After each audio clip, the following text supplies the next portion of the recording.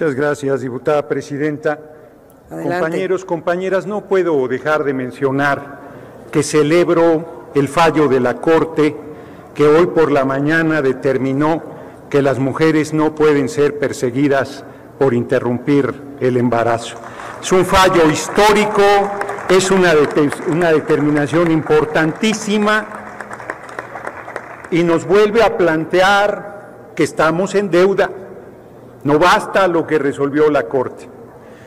Por otro lado, yo pensé que los paniaguados nos iban a explicar su relación con Vox, que nos iban a hablar de su racismo, de su clasismo, que iban a sacar aquí la bandera de Hernán Cortés y que nos iban a decir a quién más iban a correr para esconder su hipocresía.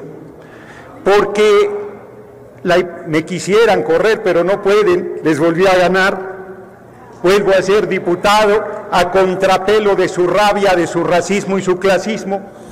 Y aquí estamos hablando de un compromiso de campaña del compañero presidente demócrata, histórico, que plantea el pueblo pone, el pueblo quita, que determina una herramienta para que el pueblo pueda deponer a un presidente corrupto, ladrón, vendepatrias, delincuente, vinculado al narco, como los que tuvieron el PRI y el PAN. E hipócritamente vienen a tribuna a decir que ojalá se gastaran esos casi cuatro mil millones de pesos que el INE pretende. Eso no cuesta la consulta, eso pretende el INE ladrones también, corruptos, saboteadores de la consulta popular del primero de agosto, y nos vienen a decir que eso se gaste en hospitales cuando gobernaron, en eso lo hubieran gastado ladrones. Son hipócritas redomados, como se los digo permanentemente, y efectivamente nosotros planteamos la revocación. Y el Senado, retomando una preocupación legítima, que no tiene por qué ser negativa la pregunta, porque es una propuesta nuestra del movimiento, resolvió de manera muy adecuada con dos incisos. ¿Quieres revocarle el mandato al presidente? Sí. ¿Quieres ratificarle el mandato al presidente? Sí. Cualquiera de las dos opciones son positivas.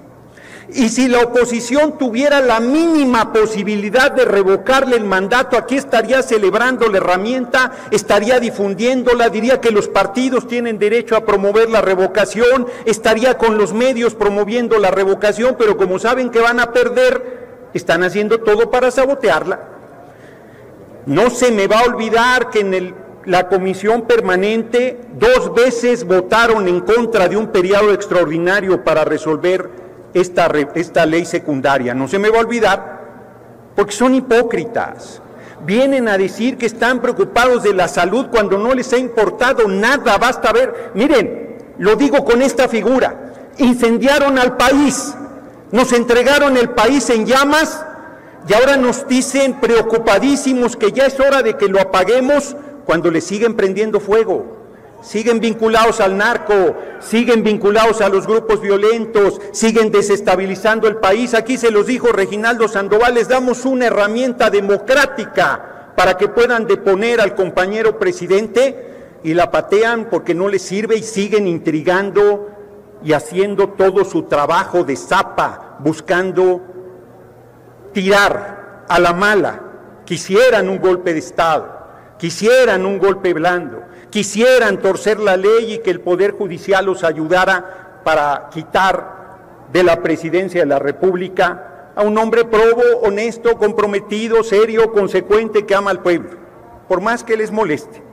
Así es que yo vengo a manifestar, por supuesto, ya voté en favor, mi respaldo a esta iniciativa y a rebatirle sobre todo a los paniaguados sus discursos tramposos, hipócritas, fatuos, falsos, que todo el tiempo vienen a recetarnos aquí en tribuna. Yo vengo tranquilísimo a las sesiones y me hacen, me enchilan y piden su medicina porque todo el tiempo están diciendo mentiras, todo el tiempo están intrigando, todo el tiempo están denostando. Contribuyan en algo, por lo menos sean oposición seria y háganos críticas sólidas. Hagan su tarea de oposición. No les pido que nos apoyen pero hagan política porque son una vergüenza para el país. Ahora hasta Vox españoles se volvieron los paneaguados. Muchas gracias. Retiro mi reserva, diputada presidenta.